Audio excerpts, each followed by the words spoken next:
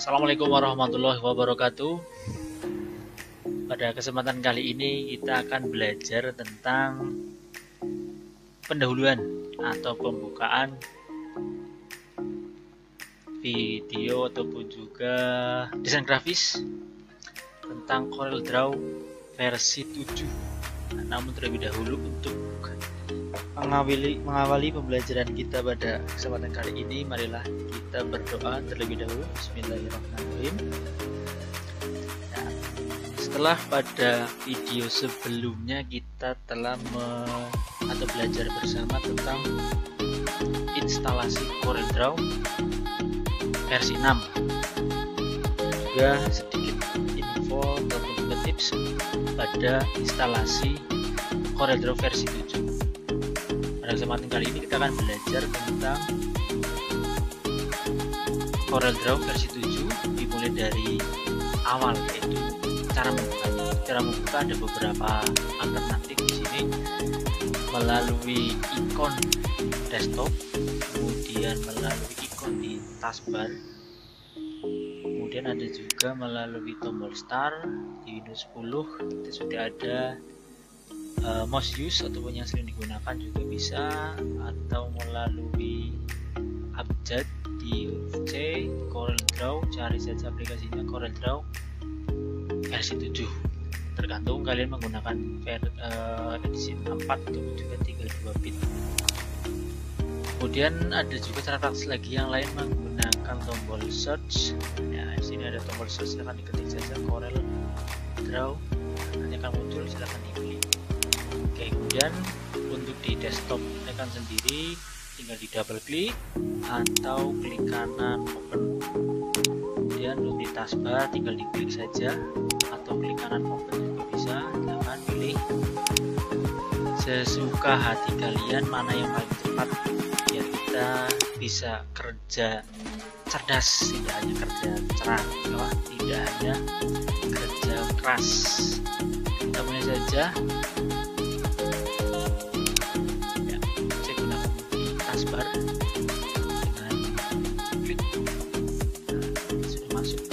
tampilan welcome screen welcome screen dari CorelDRAW versi 7 nah di sini ada beberapa tampilan. Yang pertama di sebelah kiri ada get started kemudian space atau area kerja. What's new? Apa saja yang baru dari CorelDRAW X7 ini dibandingkan versi sebelumnya?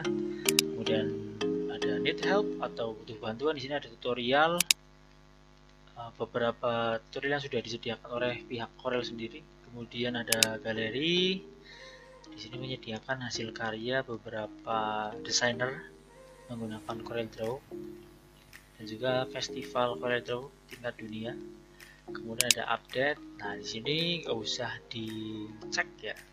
Uncheck atau centangnya dibuang.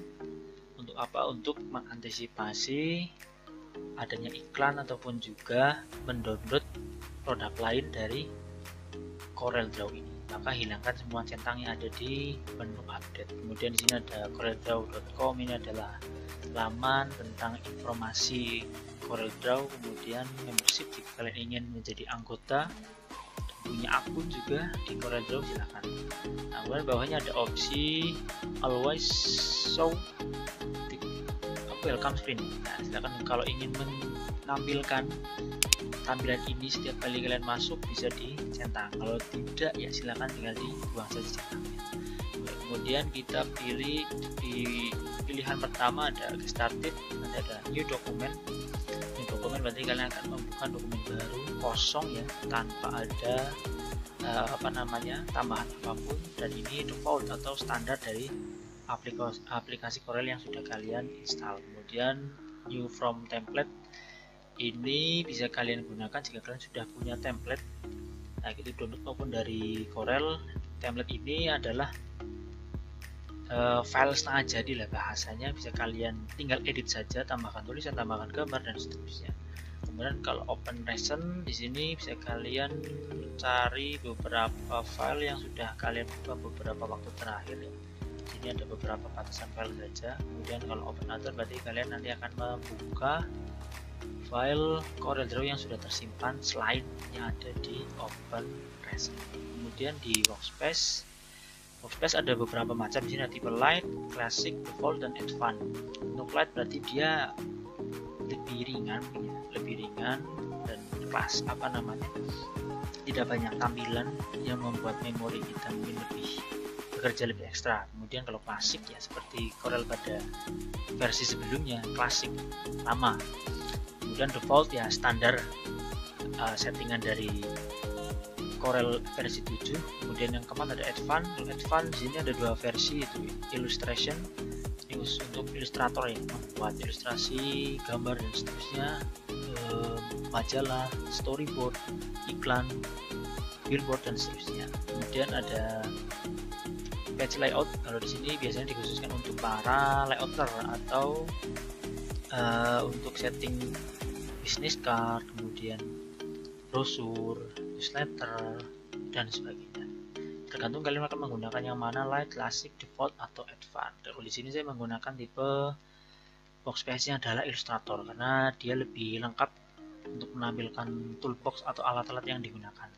Oke kita mulai. Untuk pertama kita buka new document nah di new document ini akan kalian tentukan mana judul dokumen kalian kemudian kertas mana ataupun area kerjanya mau berapa pakai ukuran yang apa.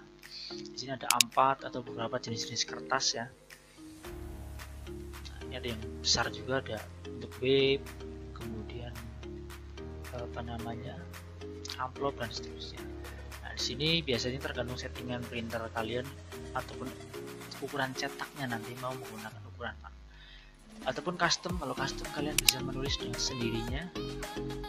Ada width atau lebar berapa tingginya atau height berapa kemudian satuan ukurannya bisa kalian menggunakan. Senti, inci, poin, pixel, dot, yards, mile, meter, kilometer dan seterusnya.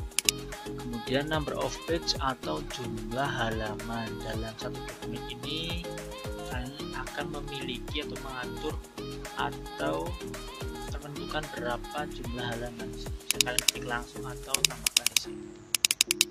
Oke, kemudian primary color mode. Di sini bisa kalian pilih ada dua macam ada RGB dan CMYK bahasa kita lebih mudahnya menggunakan bahasa RGB dan CMYK RGB atau RGB ini terdiri dari tiga warna yaitu red, green, dan blue. Ini digunakan untuk media yang memiliki background gelap sehingga kalian gunakan RGB ini dan juga sering digunakan untuk gambar-gambar yang berbasis digital. Karena dia lebih bit-bitnya itu lebih kurang bitnya lebih rendah. Kurang lebih sekitar 16 kalau 16 bit. Kemudian ada CMYK kalau CMYK dia lebih tinggi. Bit, apa namanya color bitnya kalau nggak salah di kisaran angka 24 kemudian terdiri dari warna cyan atau cyan ya magenta. Cyan itu warna biru ya biru. Kemudian magenta itu warna merah ya. Kemudian Y atau yellow itu warna kuning. Kemudian K atau black itu warna hitam. Nah, kemudian di sini ada rendering resolution standarnya adalah 300 dpi atau d per inch 300 ya. Titik dalam satu inchnya jadi dia resolusinya lebih tinggi lebih bagus gambarnya. Dan untuk preview modenya pakai saja enhance dia standar lah. Enhance biar nanti tampilannya uh, full ada workspace toolbox dan seterusnya. Bisa tampil semua di sini. Kemudian sudah uh, kalau kalian tidak menginginkan layak tampilan ini ada di monitor tinggal di centang saja. Don't show this dialog again dan klik OK. Nah di sini sudah kita sampai pada interface atau tampilan antarmuka dari CorelDRAW X7 atau versi 7 dengan 64 bit. Kita perkenalan dulu dari beberapa bagian. Kita mulai dari yang paling atas. Ini paling atas namanya adalah title bar title bar terdiri dari nama aplikasi yaitu CorelDRAW X7 kemudian untitle karena tadi saya tidak menamai dokumennya.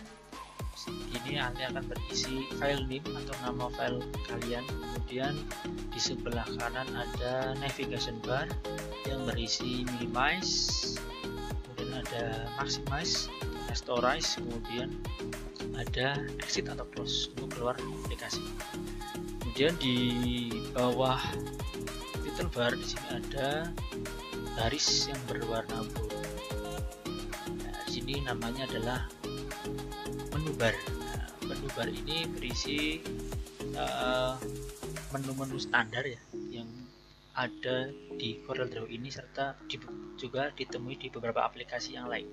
Di file di sini ada new, open, close, save, save as, kemudian ada import, export dan seterusnya sampai exit. Kemudian ada edit, berisi undo, redo, repeat, copy paste, cut, dan seterusnya. Find and replace.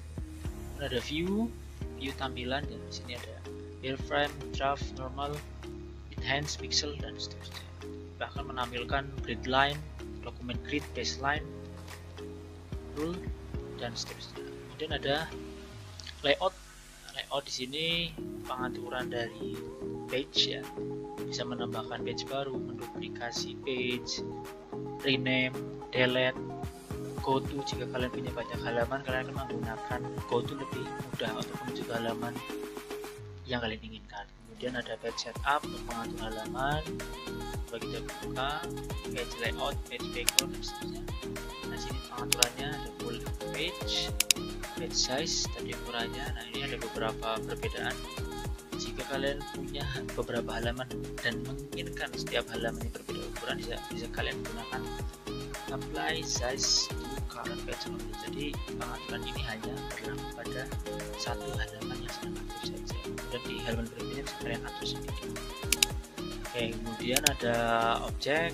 Bisa kalian pilih di sini yang sering digunakan. Nanti beberapa pengaturan objek ya, yang cukup menarik untuk kalian terapkan di objek kalian kemudian ada efek efek di sini ada beberapa efek ya adjust, transform, correction, artistic media, blend, contour, envelope, dan seterusnya. Kemudian ada bitmap.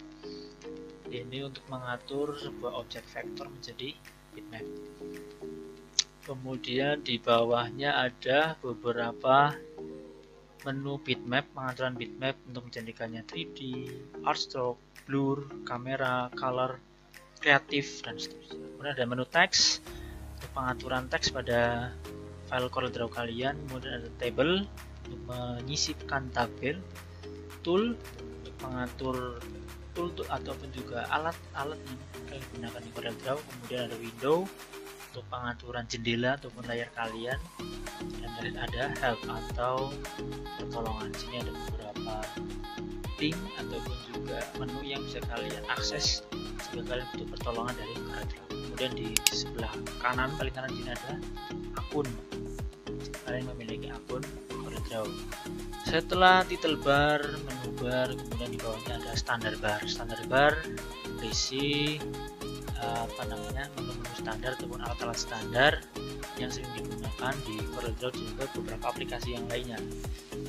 Di sini ada new untuk membuka dokumen, dokumen baru ada open untuk membuka dokumen kemudian ada save untuk menyimpan dokumen ada print cetak, ada cut untuk memindahkan atau memotong objek, kemudian ada copy untuk mengcopy atau menggandakan, duplikasi objek, kemudian ada paste untuk menempatkan hasil copy ataupun pindahan tadi. Ada undo kembali ataupun membatalkan aksi sebelumnya, ada redo untuk kembali ke aksi sebelumnya. Kemudian di sini ada Corel Connect ya kemudian ada import untuk memasukkan objek ada export untuk menyimpan sebuah objek menjadi format baru di sini ada publish to PDF jadi objek kita akan dijadikan file PDF kemudian di sini ada uh, zoom level ya zoom level untuk mengatur zoom uh, dokumen. Di sini bisa kalian gunakan secara numerik ya 10% 20% secara presentasinya berapa persen tampilan yang akan kalian inginkan tapi lebih mudahnya untuk mengaturnya bisa kalian menggunakan tombol scroll pada mouse atau tombol scroll pada touchpad laptop kalian. Kemudian di sini ada full screen ya preview. Dan seterusnya di sini. Nanti detail dari menu ini akan kita pelajari pada video berikutnya. Kemudian di bawah setelah kita ada title bar menu bar standar bar dan di bawahnya ada property bar. Property bar ini berisi menu-menu properti ataupun properti dari alat yang kita gunakan properti bar ini akan senantiasa berubah tergantung alat yang kalian gunakan. Misalnya saya sedang menggunakan big tool, maka tool e, properti bar ini seperti ini. Saya gunakan shape tool, maka dia pun akan berubah pula. Coba kita cek. Ini ada sebuah objek. Nah, dia otomatis berubah seperti ini. Saya menggunakan tombol rectangle ya. Jadi menggunakan tombol rectangle. Tombol rectangle untuk membuat persegi maka properti barnya berubah. Kita cari freehand sorry artistic media tool maka dia akan berubah. Kemudian ada crop tool uh, kemudian ada pick tool dan seterusnya. Maka properti bar akan mengikuti tool yang kalian gunakan. Nah kemudian setelah title bar menu bar standar bar property bar nah di bawahnya ini bisa kalian pindah-pindah. Nah semua bar ini bisa kalian pindah-pindah juga penampilan standarnya ada di sebelah kanan. Cuma agar tampilan warnanya lebih banyak saya pindahkan. Cara pindahkannya bisa kalian gunakan uh, tombol ataupun juga cari sini titik tiga dan klik kemudian drag pindahkan ke tempat yang kalian inginkan. Di sini di bawah pun juga bisa tempatkan nanti pilihan warnanya jauh lebih banyak dibanding di sebelah kanan karena terbatas oleh lebarnya monitor Nah, di bawahnya sini adalah namanya color palette. Nah, color palette ini ini tadi yang kita sebut CMYK, cyan, nah, magenta, yellow, dan black. Nah, ini adalah color palette berisi palette ataupun juga uh, isian dari warna-warna yang ada. Tergantung tadi jenis-jenis warnanya ataupun warnanya adalah tergantung kalian tadi milihnya mode warna RGB ataupun juga mode warna CMYK bisa kalian pilih di sini semakin banyak semakin kanan semakin banyak pilihan warnanya.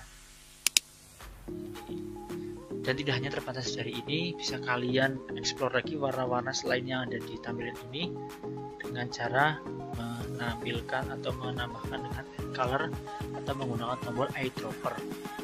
Kemudian di bawah color palette di sini ada tab dokumen. Tab dokumen ini berisi eh, dokumen-dokumen uh, yang sedang aktif.